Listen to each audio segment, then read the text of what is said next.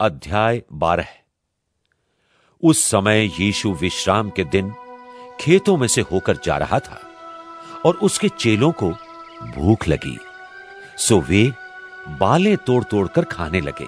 फरीसियों ने यह देखकर यीशु से कहा देख तेरे चेले वो काम कर रहे हैं जो विश्राम के दिन करना उचित नहीं।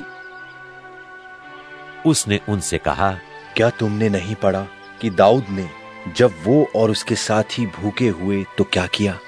वो परमेश्वर के घर में गया और भेंट की रोटियाँ खाई, जिन्हें खाना न तो उसे और न उसके साथियों को, पर केवल याजकों को उचित था। या तुमने व्यवस्था में नहीं पढ़ा कि याजक विश्राम के दिन मंदिर में, विश्राम के दिन की विधि को तोड़ने पर भी निर्दोष ठहरते हैं?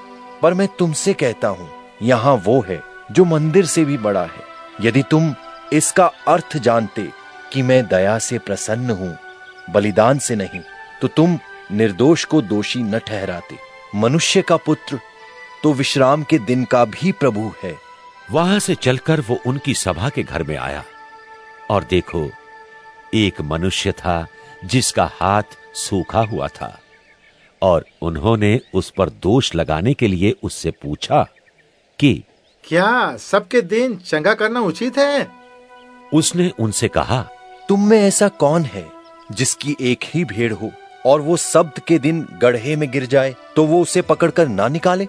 मनुष्य का मूल्य भेड़ से कितना बढ़कर है इसलिए शब्द के दिन भलाई करना उचित है। तब उसने उस मनुष्य से कहा अपना हाथ बढ़ा। उसने बढ़ाया और वो फिर दूसरे हाथ की नाई अच्छा हो गया। तब फरीसियों ने बाहर जाकर यीशु के विरोध में सम्मति की कि उसे किस प्रकार नाश करे। ये जानकर यीशु वहाँ से चला गया और बहुत लोग उसके पीछे हो लिए और उसने सबको चंगा किया और उन्हें चिताया कि उसे प्रकट न करें कि जो वचन यशाया भविष्य द्वक्ता के द्वारा कहा गया था, वो पूरा हो कि देखो, ये मेरा सेवक है, जिसे मैंने चुना है। मेरा प्रिय, जिससे मेरा मन प्रसन्न है। मैं अपना आत्मा उस पर डालूँगा और वो अन्य जातियों को न्याय का समाचार देगा। वो न झगड़ा करेगा और न धूम मचाएगा और न बाजारों में कोई उसका शब्द सुनेगा। वो कुचले हुए सरकंडे को न तोड़ेगा और धुआँ देती हुई बत्ती को न बुझाएगा जब तक न्याय को प्रबल न कराए।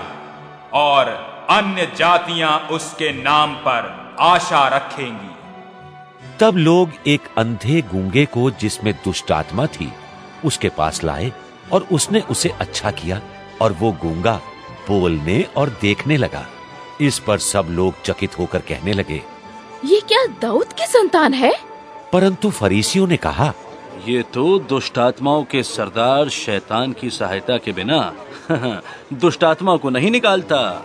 उसने उनके मन की बात जानकर उनसे कहा, जिस किसी राज्य में फूट होती है, वो उजड़ जाता है, और कोई नगर या घराना जिसमें फूट होती है बना ना रहेगा। और यदि शैतान ही शैतान को निकाले तो वो अपना ही विरोधी हो गया है।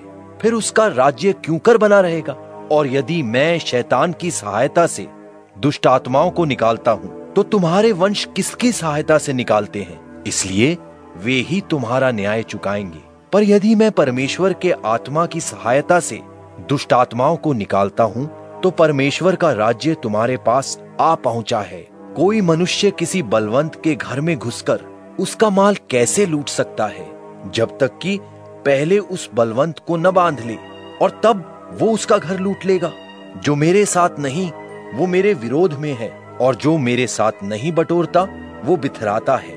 इसलिए मैं तुमसे कहता हूँ, मनुष्य का सब प्रकार का पाप और निंदा क्षमा की जाएगी, पर आत्मा की निंदा क्षमा न की जाएगी।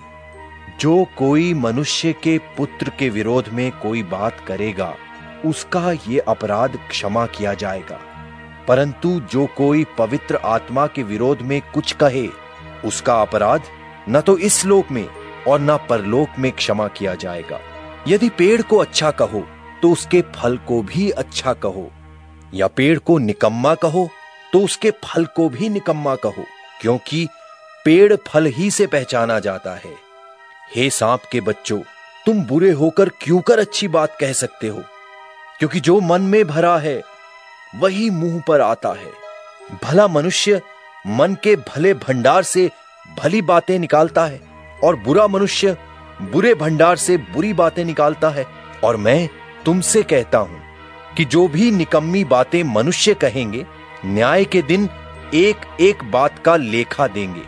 क्योंकि तू अपनी बातों के कारण निर्दोष और अपनी बातों ही के कारण दोषी ठहराया जाएगा। इस पर कितने शास्त्रियों और फरीसियों ने उससे कहा हे hey गुरु हम तुझसे एक चिन्ह देखना चाहते हैं। उसने उत्तर दिया कि इस युग के बुरे और व्यभिचारी लोग चिन्ह ढूंढते हैं। परंतु यूनुस भविष्य वक्ता के चिन्ह को छोड़ कोई और चिन्ह उनको न दिया जाएगा।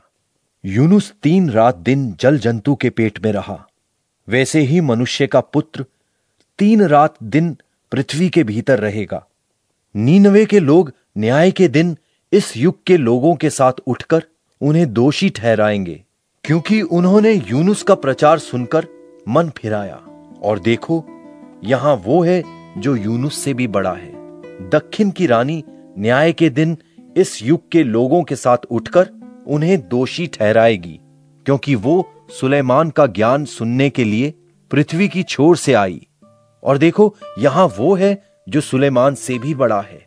जब अशुद्ध आत्मा मनुष्य में से निकल जाती है तो सूखी जगहों में विश्राम ढूंढती फिरती है। और जब नहीं पाती, तब वो कहती है, मैं अपने उसी घर में जहाँ से निकली थी लौट जाऊँगी।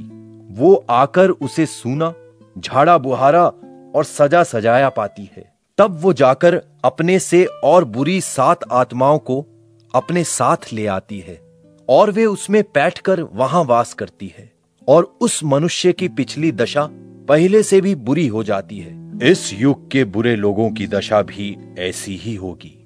जब वो भीड़ से बातें कर ही रहा था तो देखो उसकी माता और भाई बाहर खड़े थे और उससे बात करना चाहते थे।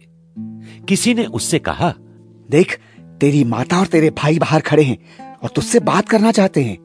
ये सुन उसने कहने वाले को उत्तर दिया कौन है मेरी माता और कौन है मेरे भाई? और अपने चेलों की ओर अपना हाथ बढ़ाकर कहा मेरी माता और मेरे भाई ये हैं। क्योंकि जो कोई मेरे स्वर्गीय पिता की इच्छा पर चले, वही मेरा भाई और बहन और माता है।